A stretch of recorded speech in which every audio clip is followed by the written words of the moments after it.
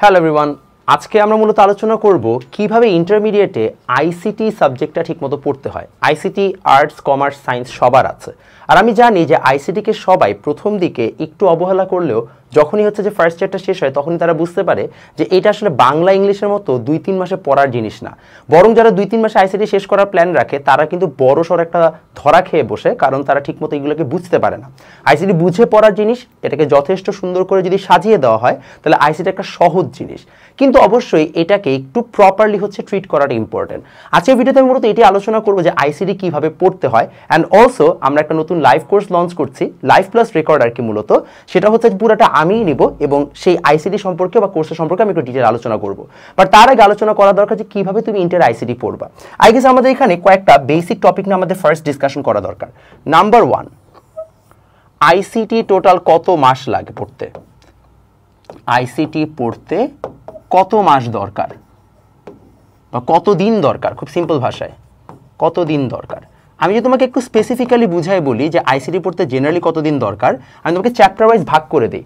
আমি আইসিটি গত পাঁচ বছর ধরে পড়াচ্ছি এবং আল বি ভেরি অনেস্ট আমি মনে হয় সেম আইসিটি কোর্সটা এই নিয়ে তিরিশ বারের উপরে পড়িয়েছে। অর্থাৎ আমার লেকচারগুলো ঠাড়া মুখস্থ একদম। আমার প্রচুর অফলাইনে আইসিটি স্টুডেন্টস আছে, তারা চাইলে তাদের কাছ থেকে রিভিউ নিতে পারো। আমি তোমাকে একটা অথেন্টিক আইডিয়া দিতে পারব যে আসলে আইসিটিকে কীভাবে ট্রিট করা উচিত। ফার্স্ট অফ অল আইসিটি যে চ্যাপ্টার ওয়ান আছে, এটা খুবই সোজা একটা চ্যাপ্টার এই চ্যাপ্টারটা পড়তে তোমার ঊর্ধ্বে গেলে হচ্ছে যে হয়তো বা তোমার হচ্ছে যে চার থেকে পাঁচ দিন দরকার। তো চার দিন উড বি ইনাফ তুমি বলতে পারো, ভাই, এটা আরও কম সময় সম্ভব। হ্যাঁ সম্ভব। আমি বলছি, যদি তোমাকে একদম গুছায় ঠিক মতো আমি নোট করে দিই। যেমন আমি যেভাবে আইসিডি পড়ে, সেখানে হচ্ছে আমি একদম মানে বইপত্র সবগুলোকে মিলিয়ে একবারে নোট করাই দিই। সো চ্যাপ্টার ওয়ানে তোমার দরকার হচ্ছে চার দিন। চ্যাপ্টার টুতে তোমার দরকার হবে ইন টোটাল অ্যাটলিস্ট অ্যাটলিস্ট তোমার আটটা ক্লাস দরকার হবে। তুমি বলতে পারো, ভাই, এত ক্লাস কেন দরকার? আমি আইসিডি চ্যাপ্টার টুতে আরও বেশি ক্লাস নেই টু বি অনেস্ট বিকজ চ্যাপ্টারটা যথেষ্ট বড়।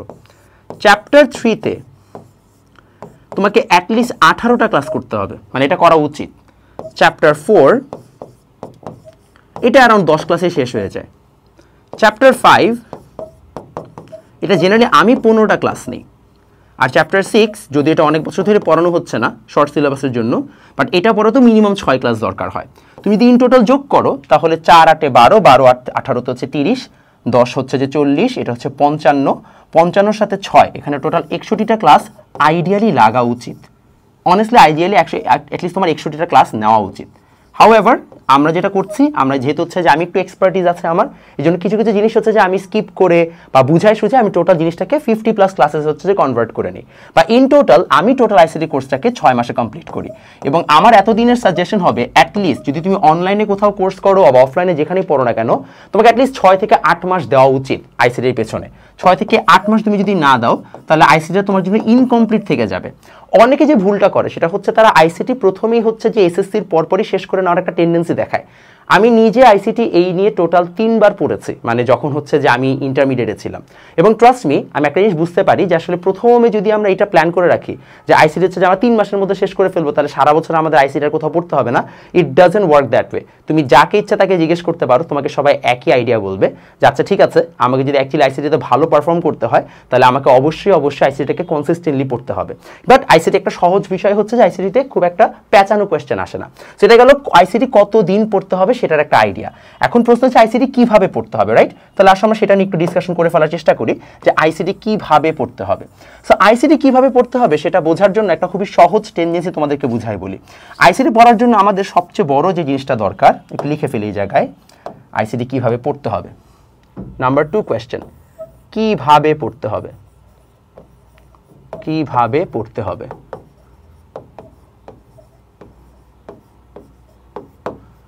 আইসিটি পড়ার ক্ষেত্রে তোমাকে খুব সিম্পলি একটা জিনিস আমি বলে রাখি আইসিটি নিজে নিজে পড়ার জিনিস না। You have to have someone যে কিনা তোমাকে গাইড করবে অথবা মেন্টর করবে। এখানে চ্যাপ্টার ডিফিকাল্টিগুলো তুমি যদি বুঝতে চাও চ্যাপ্টার ওয়ান সেটা হচ্ছে ঠাড়া মুখস্থ, একদম মেমোরাইজ এবং এই জায়গাও মেমোরাইজিংয়ের ক্ষেত্রে you have to be very specific যে তুমি কোন পার্টটা মেমোরাইজ করবা। কারণ বই তুমি যদি ডিরেক্টলি পড়তে চাও তাহলে তোমার যথেষ্ট কষ্ট হবে।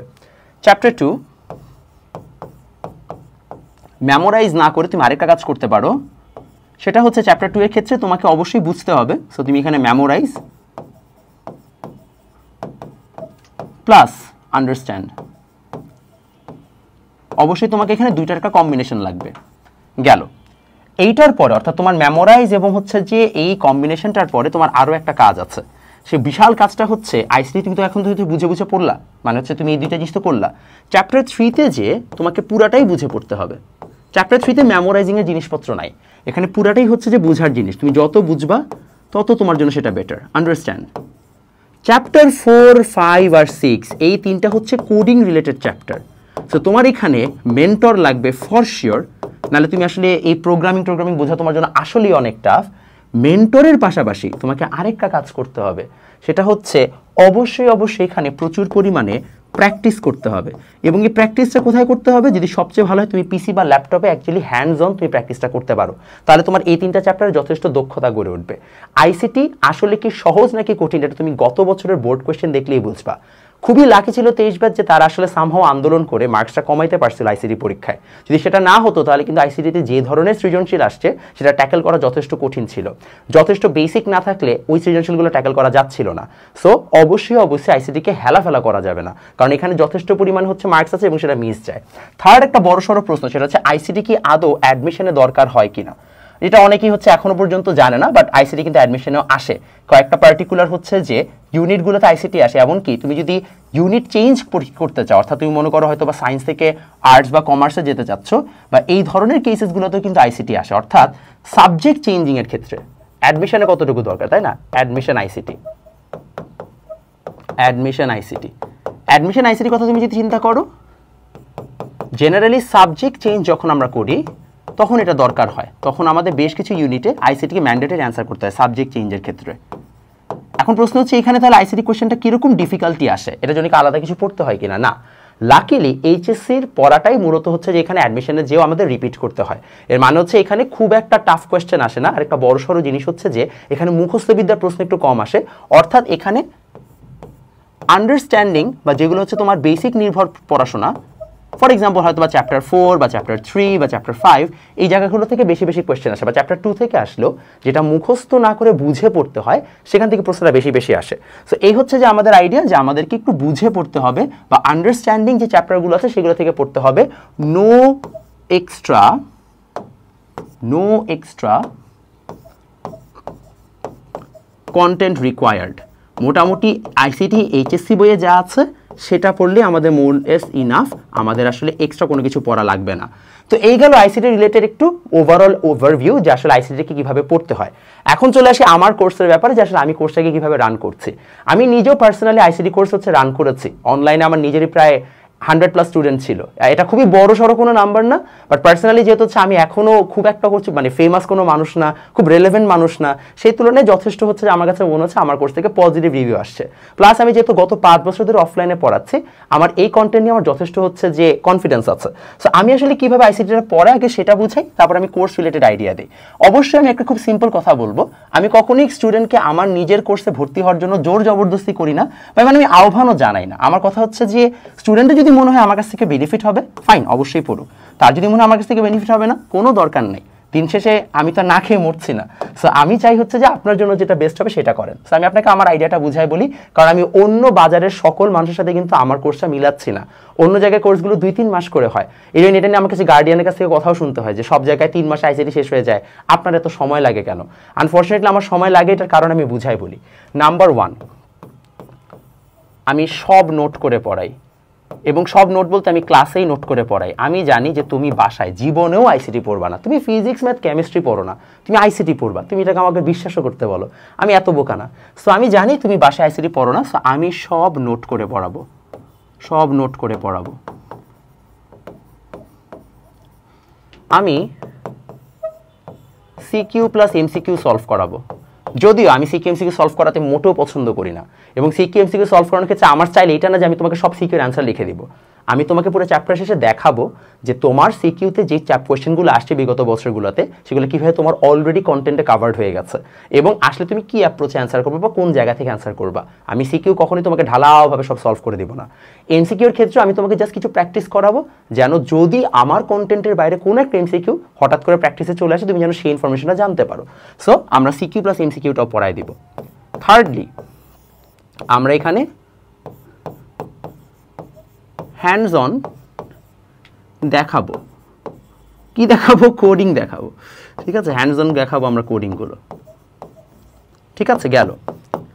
এবং আমি আরেকটা জিনিস সবসময় গ্যারান্টি দিই, সেটা হচ্ছে যদি আমি ক্লাস নেই, তাহলে কোনো বই ধরা দরকার নেই। এবং আমি এটা মিথ্যা বলছি না, এটা আসলেই দরকার নেই। এই জন্যই ক্লাস সংখ্যাটা আমার একটু বেশি লাগে, কারণ আমি জাস্ট হচ্ছে ঢালাওভাবে পড়াই দিয়ে চলে যাই না। আমি চেষ্টা করি প্রত্যেকটা টপিককে বুঝায় বুঝায় এমনভাবে পড়াইতে, যেন কোনো বাচ্চারই আসলে কোনো দিন হচ্ছে কোনো কিছুতে ডাউট না থাকে এবং সে যেন খুব সহজে বুঝতে পারে। খাতা পড়লে আপনি ইনশাল্লাহ সবটুকুই কমন পাবেন। আমি এইভাবে পড়ানোর চেষ্টা করি। এবং last but not the least সবচেয়ে ইম্পর্টেন্ট জিনিস, আমার ক্লাসটা অনেক এন্টারটেনিং হয় আই ফিল আমি ক্লাসে মোটে হচ্ছে আপনাদেরকে বোরিংভাবে পড়াবো না। আই হোপ আমি আপনাদের ক্লাসে যথেষ্ট এন্টারটেইনিংভাবে আপনাদেরকে বোঝানোর চেষ্টা করব যে আসলে আইসিটিতে কী হয়, না হয়। এমনি আমি কাছে মনে হয় আপনারা সারাদিন অনেক বোর্ড থাকেন।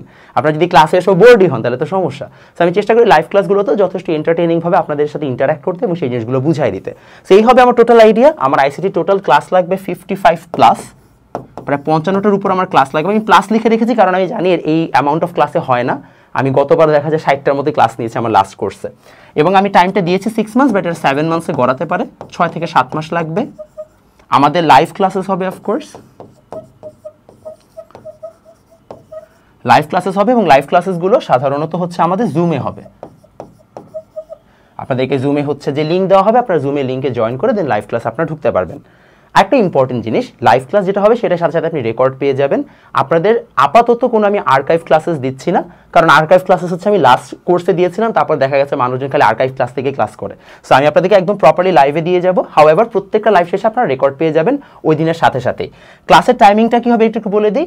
ক্লাসের টাইমিংটা আমি আপাতত ধরে রেখেছি। ক্লাসের টাইমিং হবে সানডে টুইসডে রাত সাড়ে নয়টায়।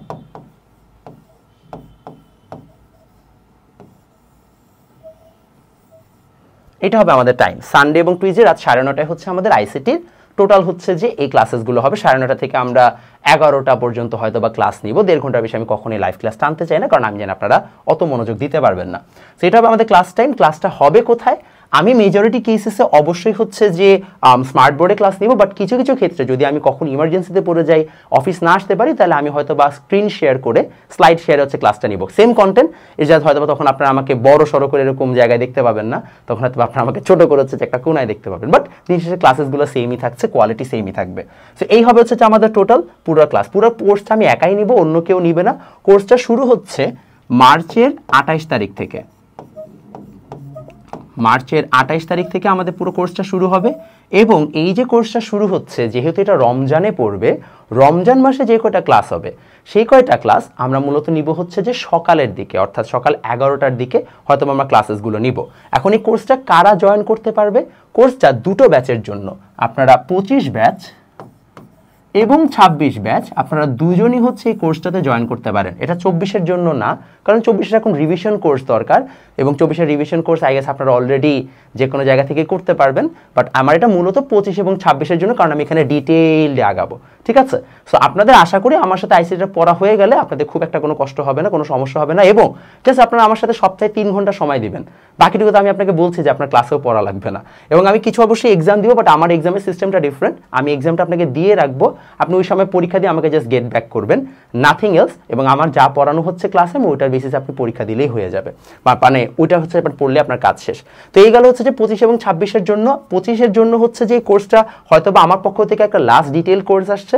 ছাব্বিশের জন্য আমার এরকম আরেকটা কোর্স হয়তো বা রিপিট হবে। But I will be very honest যদি ছাব্বিশের যারা এসএসসি শেষ করেছ, আমার সাথে সাথে আগাইতে পারো। আই নো তোমাদের এখন এনডিসির হলিক্রসের অ্যাডমিশনের একটা প্রেশার আছে অনেকের। তারপর অনেকে হয়তো বা এখন পড়াশোনা করতে চাচ্ছ না। বাট এই কোর্সটা আসলে ফান কোর্স তোমাকে খুব একটা বেশি অ্যাফোর্ড দিতে হবে এমন না। তুমি বাসার যে কোনো জায়গায় বসে হচ্ছে চুপচাপ আমার সাথে লাইভ ক্লাসটা করে ফেলতে পারো। আর হ্যাঁ এই কোর্সের ফিটা নিয়ে আলোচনা করি। কোর্স ফি হচ্ছে বারোশো পঞ্চাশ। আমি যখন নিজে পার্সোনালি কোর্সটা রান করেছি, তখন আমি একুশশো পঞ্চাশ টাকা রান করেছি। এবার আমি যেহেতু হালকেনস্টাইনের সাথে আগাচ্ছি এই জন্য হচ্ছে আমি কোর্সের প্রাইসটাকে একটু লো করেছি। তারপরেও অনেকে আমাকে বলছেন কোর্সের প্রাইস অনেক বেশি etcetera etcetera I can guarantee you আমি তোমাদের যে ধরনের সার্ভিস দিব সেটার জন্যই তোমার কাছে প্রাইসটা মোটামুটি অপটিমাম মনে হবে। এবং ইনশাল্লাহ তোমরা ভালো একটা হচ্ছে যে প্রস্তুতি আমার সাথে কমপ্লিট করতে পারবা। যদি আমার ব্যাপারে কোনো রিভিউ দরকার হয় কোনো হেসিটেশন ছাড়া হচ্ছে যে তোমরা বিভিন্ন জায়গায় পোস্ট করে আমার ব্যাপারে রিভিউ নিতে পারো, কোনো প্রবলেম নেই। আমার হচ্ছে অনেক স্টুডেন্টস আছে, তারা তোমাকে অ্যাবসোলুট অথেন্টিক রিভিউটা দিবে। আমি কনফিডেন্ট দেখে তোমাকে বলছি, তুমি জেনে শুনে রিভিউ দেখে তারপরে ক্লাসটাতে জয়েন করো। আর আমার অনেক ক্লাস হচ্ছে যে অনলাইনে ফ্রিতে দেওয়া আছে, তোমরা সেগুলো দেখে হচ্ছে যে জাজমেন্ট করতে পারো যে আসলে আমার সাথে আগানোটা তোমাদের জন্য রাইট হবে কিনা। সো এই গেল হচ্ছে যে আমাদের এন্টায়ার আইসিটি সম্পর্কে আইডিয়া আই হোপ তোমাদের, যদি আমার কাছে নাও পড়ো আইসিটির ব্যাপারে তোমাদেরকে একটা কম্প্রিহেন্সিভ আইডিয়া আমি দিতে পেরেছি যে কীভাবে পড়তে হবে, কীরকমভাবে পড়লে তোমাদের জন্য ভালো। এবং আশা রাখি তোমাদের সাথে আমার সামনের ক্লাসগুলোতে বেশ ভালো দেখা হবে।